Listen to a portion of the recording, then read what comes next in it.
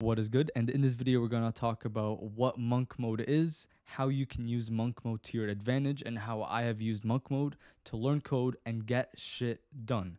Um, obviously, we're in a different scenery. We're in my bedroom where all the action happens. And by action, I mean recording videos, you dirty monster.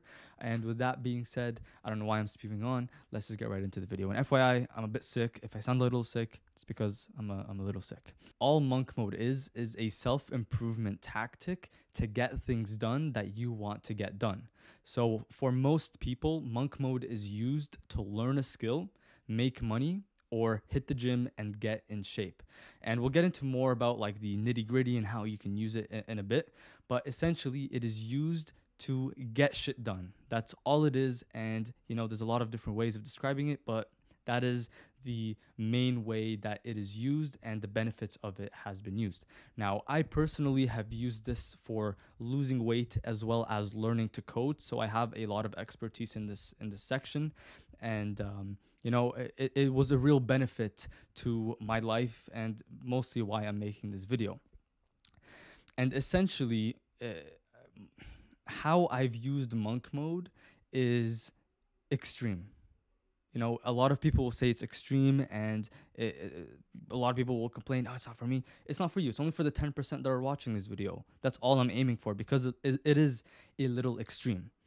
So basically how you use monk mode in your coding journey is you dedicate your life every fucking day to working towards your goal of learning code. When I started out in this journey of monk mode and learning to code, I removed all distractions because that that's what monk mode is. You remove all distractions and you solely focus on a singular goal until you reach it. And with our coding journey and with my coding journey, I removed everything. No more phone, no more YouTube, no more Netflix, and I coded every day. I suffered and I specifically went and learned until I reached a point where I stopped sucking and how you can use this in your life and how you can apply monk mode is remove all distractions like I did. You know, it's it's easier said than done, but you need to remove all distractions and work towards this goal of becoming a full stack developer, app developer, whatever it is um, that you want. Now, the it's obvious, but the main benefits of monk mode is that you're gonna reach your goals faster. Someone that puts in the effort, someone that is able to put more hours into his craft will see better results in the long term. And that's exactly what I saw. As soon as I started doing this, I started seeing results. And I'm not surprised now that I look back because of the effort that I put in. I was obviously able to learn code, become a full stack developer, and create the apps that I wanted to create. Now, I know it's a little extreme, and a lot of people will disagree in a sense where they're like, why are you dedicating your life towards this thing? Why would you work every day towards this goal? It's because I want to see the best results in that thing. I don't want to wait two years to see the results. I want to see it as fast as possible with the right amount of effort. And this monk mode thing, where you sacrifice all the instant gratification and all the current pleasantries, I guess you could say, of the current life in order to suffer a bit but work towards your goals is something I'm willing to do if it means I'm going to see faster res- results. Now, I can't lie, it is a little difficult, and you know, eh, you will see although you'll see a big change, it comes with a big sacrifice, but it was well worth it in my end, and I'm so happy that I took. I took that decision. Now, a lot of people have asked me, Nizar, how do you post videos every day? How are you making all these videos? How are you coding this platform of yours? And how are you talking to us on Discord all the time? Well, it's because I was on monk mode for those things. On code, I was be able to get to a point where I was a good developer because I was solely able to focus on that goal and that only, right?